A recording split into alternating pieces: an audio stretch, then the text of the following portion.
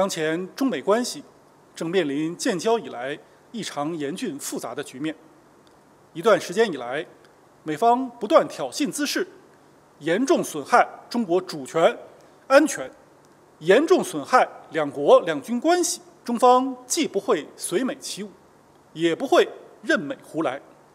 我们采取有力举措，坚定捍卫了国家主权、安全、发展利益。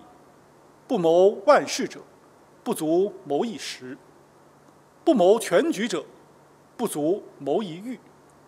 我们希望美方真正拿出战略眼光，以开放和理性的心态看待中国发展，走出焦虑纠结的泥沼。当前，中美两军保持沟通十分重要，双方要坚持相向而行，加强危机沟通，有效防范风险，推动和保持两军关系总体稳定。关于两军高层交往，两国防务部门。就此保持着沟通协调，希望美方采取切实措施，为访问营造积极有利的氛围。